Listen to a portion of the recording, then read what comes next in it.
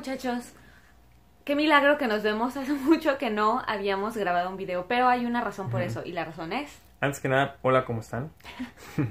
la razón es porque estoy en la última parte de la escuela y estoy muy ocupado. La realidad es que no me queda mucho tiempo como, para poder hacer los videos. Una disculpa, esperemos que una vez que ya termine la escuela ya podamos subir los videos como lo estamos sí, exacto, como lo hacíamos antes. Pero bueno, quisimos, aunque Paco no tiene ahorita tiempo prácticamente para hacer videos y editarlos y eso, lo que queríamos hacer era compartirles un cambio muy importante, o sea, que realmente creemos que eso es una de esas cosas que ustedes no se pueden perder. Y ese que no se pueden perder, lamentablemente no es algo eh, bueno.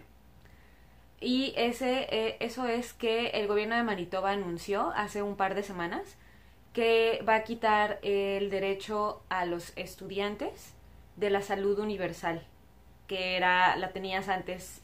Cuando tú llegabas aquí, tú podías ir a pedir tu, tu tarjeta de salud y eso pues estabas cubierto, tú estabas cubierto como cualquier canadiense, como cualquier ciudadano canadiense o residente permanente que tienen pues la cobertura. Pero anunciaron que lo quitaron, quitaron esa este no entra en vigor todavía Ahorita Paco les va a decir, al, al final les vamos a decir cuándo entra en vigor esto, porque todavía, si ustedes se meten a la página de, de, el de la provincia de la salud, todavía no está ahí, aunque ya lanzó el comunicado el gobierno de la provincia. Entonces nosotros creemos que más o menos cercano a la fecha que va a ser, eh, que, que, lo van a poner en marcha, van a subir esa información. Entonces si ustedes van a la página todavía no lo van a encontrar, pero al final del video les decimos cuándo lo van a hacer. De hecho, si van, si van a la página, van a ver todavía que dice el servicio, eh, ¿cómo se llama? El Universal Care, Healthcare. Sí, todavía. Todavía está disponible Porque para realmente todavía está vigente. Sí, todavía está vigente, pero ya nos llegó la noticia. De hecho, no solamente nos enteramos por los periódicos, sino también nos enteramos por un correo electrónico que me llegó a mi cuenta. A través del correo electrónico nos, nos dijeron cuándo empieza eso. Entonces, sí, exacto. es feo porque Ah, nosotros nos fuimos, bueno, nosotros no solamente nosotros, sino muchos estudiantes han sido beneficiados por eso. Nosotros si, tuviéramos, eh, bueno, cuando tuvimos algún, no sé, alguna gripa o algo, íbamos corriendo al doctor y ya nos atendían totalmente gratis. Sí, o sea, realmente sabes que si te, te, pasaba algo, o sea, no, si necesitabas una cirugía de emergencia o algo de apéndice, bla, bla, uno no se preocupa porque no, te, no nos cuesta nada.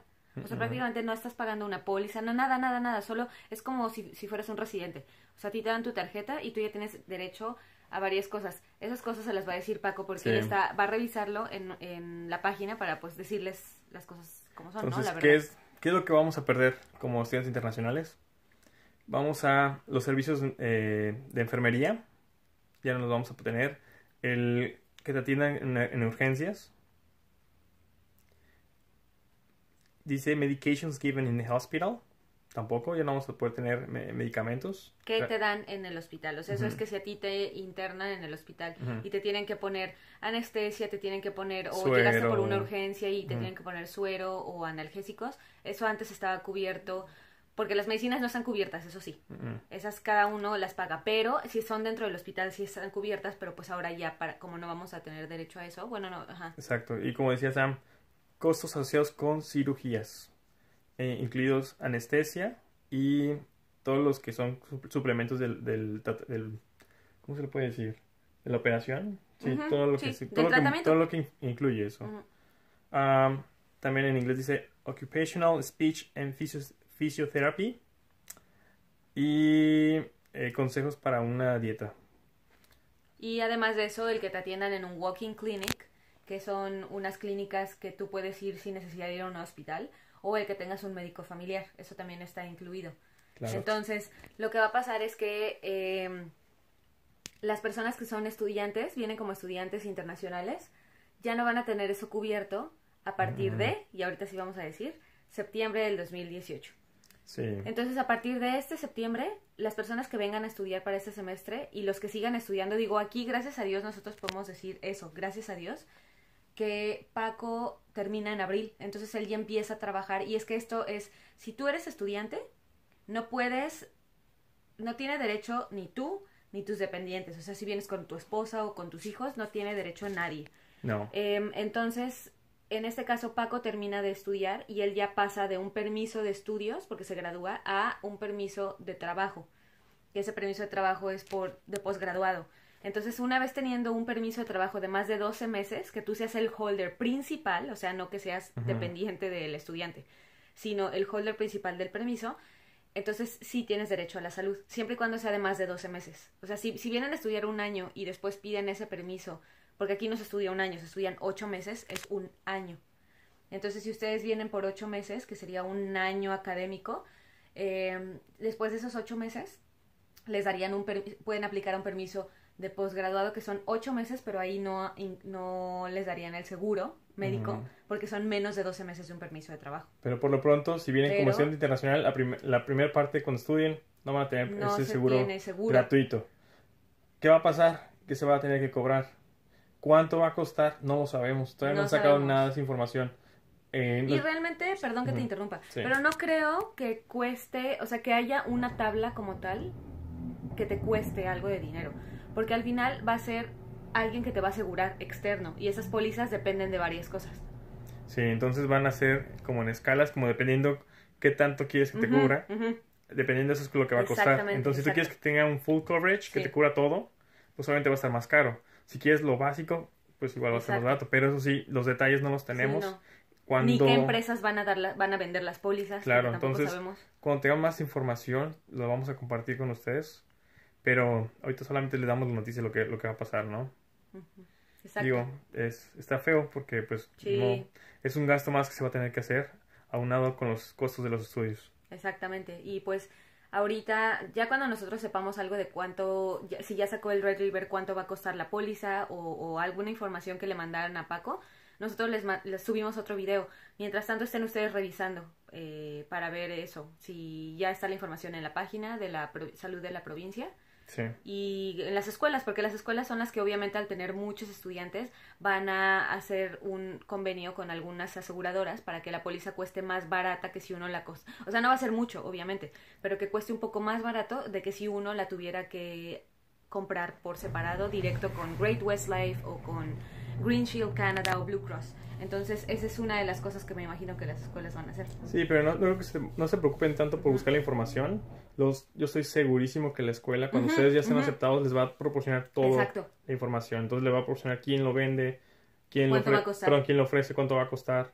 Em, toda esa información estoy seguro que la escuela lo va a proporcionar. Y nosotros, bueno, esto no sabemos, obviamente, como les dijimos, no tenemos más información que la que les estamos dando, pero nosotros creemos así en nuestra opinión, y yo creo, estoy casi segura, que eso lo van a incluir en el tuition, o sea, en la colegiatura del estudiante, solo para el estudiante porque va a ser obligatorio. Tú no puedes venir si no, tienes un seguro de salud, como es en Ontario o como es en Alberta.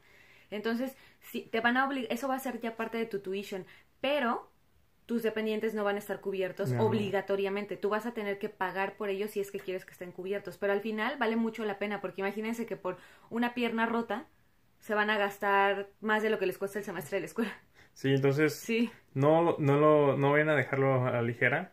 O sea, ni modo, o sea, eso lo tienen que tomar en cuenta para su presupuesto. Ajá, exacto, ahora es algo más extra. Digo, no nos, no nos, da gusto decir estas noticias, pero es, lo, es lo que va a pasar. Pero es lo que pasa también en otras provincias. Al final quitaron en Manitoba, pero en otras provincias no hay seguro, como en Ontario, en, como en, um, en Alberta. Alberta ya no hay. Yukon tampoco creo. La única que tiene, bueno, que yo sé, que tiene seguro todavía gratuito.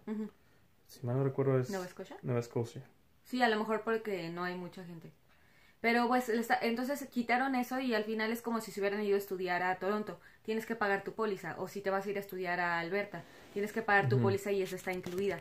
Y pues eh, volvemos a lo mismo, ¿no? O sea, perdón que lo repitamos, pero recuerden, si vienen con dependientes, no por ahorrar, vayan a dejar de asegurarlos no. si no están cubiertos por el sistema, si no van a una provincia que esté cubierta, porque de verdad que puede salir demasiado caro. O sea, eso podría significar que ustedes ya no tengan dinero para, si, si pasa un accidente o una operación o una urgencia, eso significaría que prácticamente el dinero que les queda para la escuela lo tuvieran que gastar en médico, en una persona. No conviene, sale más barato al final. Tómenlo en cuenta, eh, hay que tomarlo en cuenta para el presupuesto.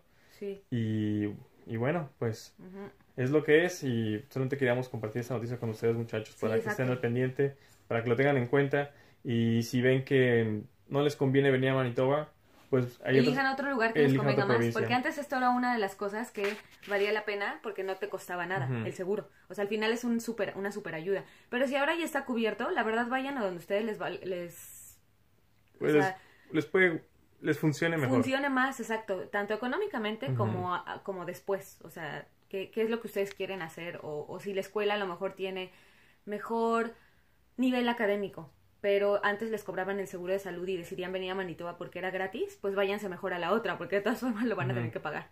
Exacto. Entonces, bueno, muchachos, pues, ¿algo más? No, este fue nuestro video de esta semana y esperamos, bueno, Paco en dos semanas ya sale, entonces después de dos semanas esperamos empezar a regularizarnos con, perdón, con los videos. Sí, por lo pronto, eh, cualquier cosa, cualquier comentario, dejen su, su mensaje aquí en la página de YouTube o en el video.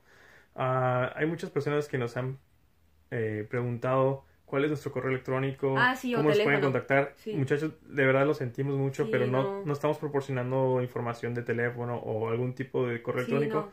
Lo- el medio para poder comunicarse con nosotros es a través de YouTube, un mensaje o por la página de Facebook.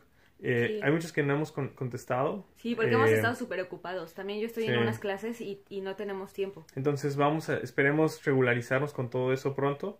Eh, en las próximas semanas vamos, vamos a tratar de darle respuesta a todos. Exacto. Y bueno, recuerden que nos pueden seguir en nuestra página de Facebook, en YouTube, darle like al video y compartirlo si saben de otras personas que quieran em, están interesados en Manitoba o esta información les sirva. Y pues, sí, como dijo Paco, una disculpa, pero no proporcionamos esos datos porque pues al final volvemos con lo mismo, ¿no? Como no somos consultores, nosotros no estamos reglamentados para dar nada de información de eso. Lo único que les damos es que si dejan su comentario aquí abajo, pues buscamos, podemos buscar o compartirles lo que nosotros sabemos de- dado nuestra experiencia o la de algunos amigos. Pero si no, una disculpa Sí, muchachos, no, pero ya hemos dado el nombre de un consultor que nosotros ocupamos para mm, unas dudas. Muy bueno. Exacto, entonces. Voy a dejar en la descripción los links de las noticias que ha habido de, con respecto Ujú. al seguro, que van a quitar el seguro de eh, salud universal para los estudiantes internacionales en los comentarios, bueno, en la descripción y alguna otra información que sea importante la dejo también. Muchachos, nos despedimos. Les Bueno deseamos muchachos, que estén muy bien. que estén muy bien. Hasta pronto.